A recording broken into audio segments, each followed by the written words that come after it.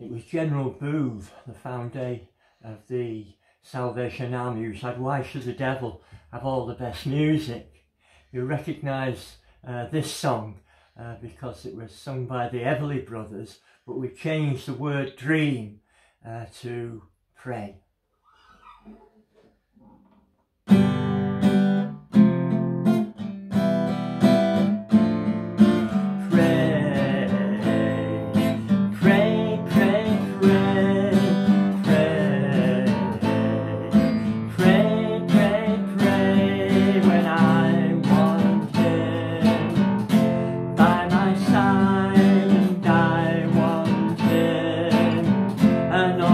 you.